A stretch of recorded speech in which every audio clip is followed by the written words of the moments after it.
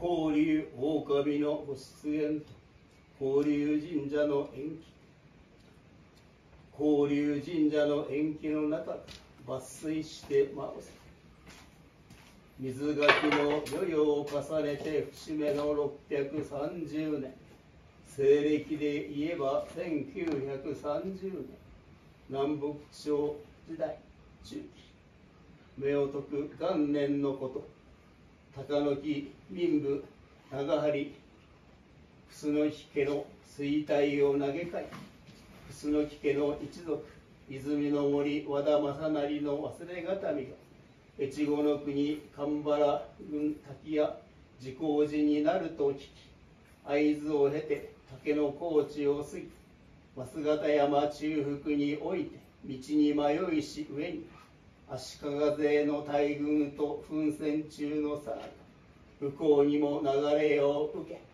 七天抜刀の苦しみ。かくなる上はと平素進行せる大和の国吉野郡。川上村乳の宮代に静まりたもう高女将の神を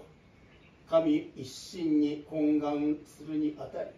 天に通じたのかその時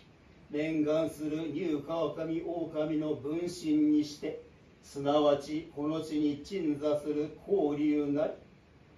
我めが忠節の志厚きをめで一命を助け使わさんとして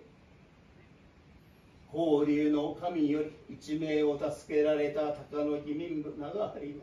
里人に物語ったのであるが里人は半信半疑にあり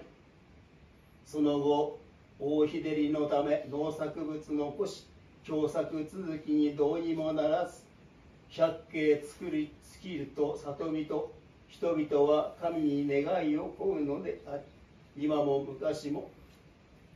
交流狼に願えば不思議に日照りの時には雨を豪雨の時には